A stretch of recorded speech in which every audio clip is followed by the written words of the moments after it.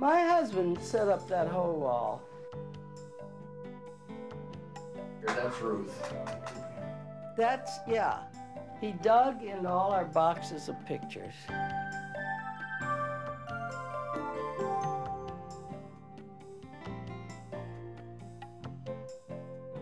Before I started to write the book, I realized that I had to find a way to try to pull some of this history together. So I dug deep in lots of places. This is old family pictures. This is assorted family pictures. This is 1950, 1960s. It's got the dates. Well, I don't know with what I'm pulling here, but just these are. I don't think I pulled a good good.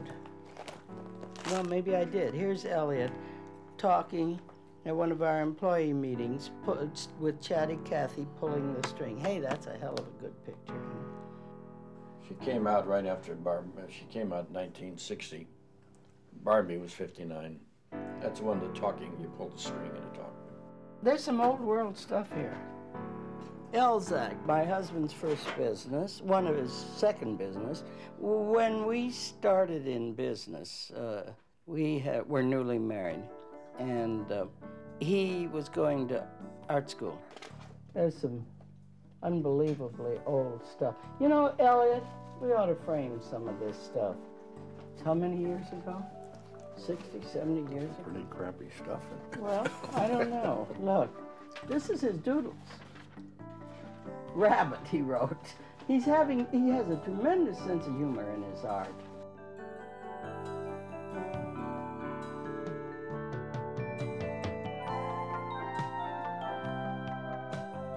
This is kind of interesting. Speeches, Barbie publicity, Ruth publicity, articles about Mattel. This is one of the Saturday Evening Post articles on Barbie. Is a million dollar doll. That was at the beginning. This is a good one. This is me.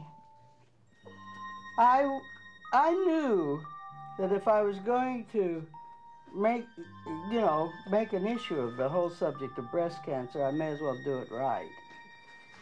Millionaire inventor Barbie doll says, to know the consumer's needs, then make it cheaper and better.